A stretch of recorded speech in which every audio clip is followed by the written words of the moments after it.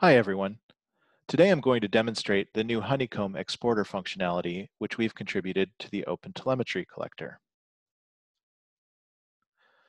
The OpenTelemetry collector is a Swiss Army knife service for tracing. It can receive traces in all of the popular standard wire formats, including Jaeger, Zipkin, and OpenCensus. You can configure the collector to output those traces in any of those formats plus commercial observability tools like Honeycomb. It can fan out to multiple destinations, so you can even comparison shop and transition between different systems.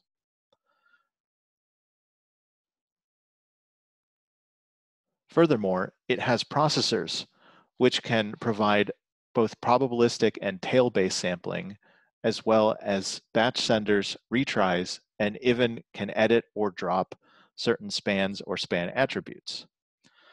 Tail-based sampling is really cool because it waits a predetermined amount of time for all the spans of a trace to come in before making a sampling decision.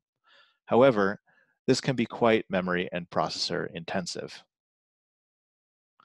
Okay, let's dive in and build and deploy the OpenTelemetry collector. On my workstation, I've cloned the OpenTelemetry collector contrib git repository. This is the repo where all of the contributed exporters, like Honeycomb, live. For now, I need to build this for myself, at least until the OpenTelemetry project cuts their beta release, which should happen soon. I have Go version 1.13, which is pretty recent. And all I need to run is make docker otel contrib collector, which will compile the binary and package it in a Docker container for me. Now I simply need to tag this container and push this to my repository. Great. Now let's go and add this to our project.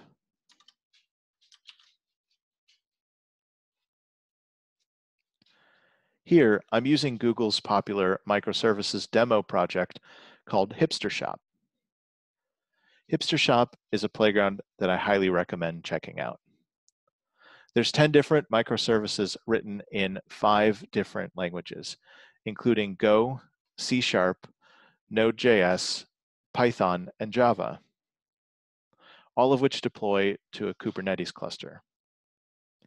I've modified the hipster shop by adding Jaeger tracing to most of the services. I've also added the Jaeger all-in-one Docker image to the stack, so we have a Jaeger UI to play with. Now, let's add the OpenTelemetry collector to this stack.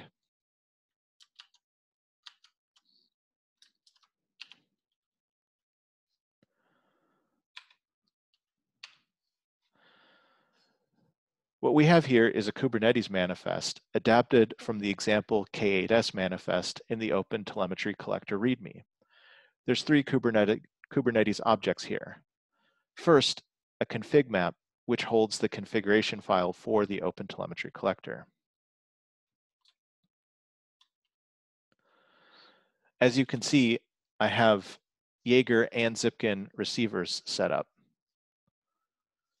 to receive traces in those formats. I also have exporters set up for Jaeger that forwards to the Jaeger all-in-one instance as well as to Honeycomb. For Honeycomb, I need to define the API token and the dataset name. For safety, I've configured this token to be limited to only send events to Honeycomb, and that's all it can do. Plus, I'll delete it after this demo is over.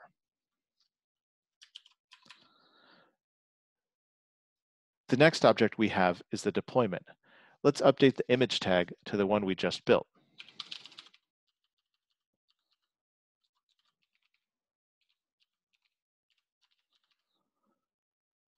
Great.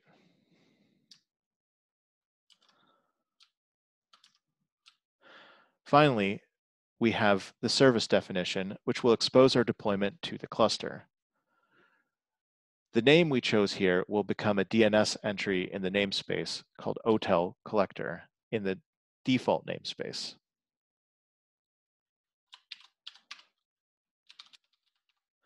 Because I'm using Istio, I've also defined a second instance of the OTel collector that will run in the Istio system namespace. This will receive trace spans from Istio and forward them along to the OTel collector that runs alongside our app in the default namespace. In this case, using uh, both receiving and exporting spans in the Zipkin format. Okay, now we're ready to deploy.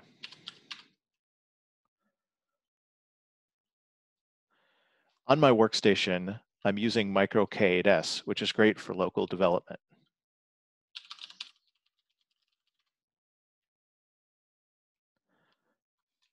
In this case, I've enabled a number of Micro K8s extensions.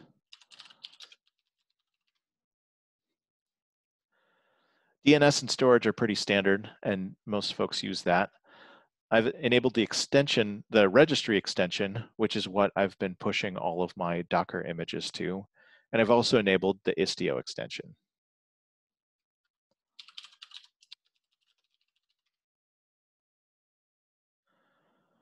Looks like it's ready for us to deploy. The Hipster Shop uses a tool called Skaffold to manage its uh, continuous deployment. So all we need to do after Skaffold is installed is do Skaffold run. Now I've already configured Skaffold to build and push my Docker images to this local registry. And because I've already built uh, these images a couple times, they uh, Skaffold detected that nothing needed to be rebuilt and also that uh, all of the images had already been deployed to the container registry. In this case, it just uh, set up new tags for the deployment that I just did and has gone and updated all of the deployments.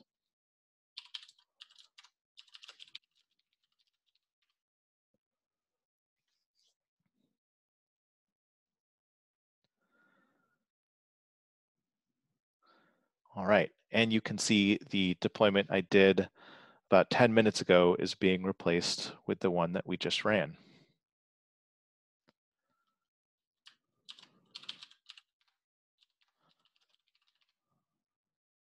Great, everything's up and running. Now let's head over to Honeycomb and see the traces from our app.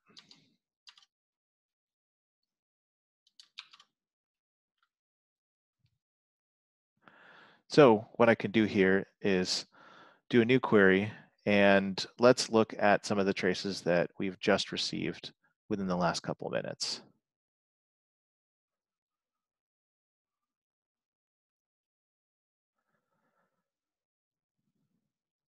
We shouldn't be too worried about how long some of these requests took because this is a local development system after all. Let me open one of these traces up so that we can confirm that we are in fact getting the complete trace view. Great.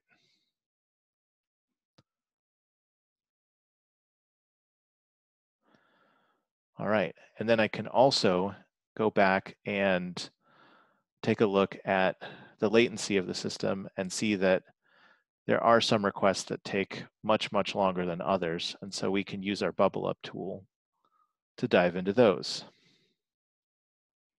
this case, it looks like some of the slowest endpoints was the cart, uh, which goes to the, the cart extension, which goes to the cart service,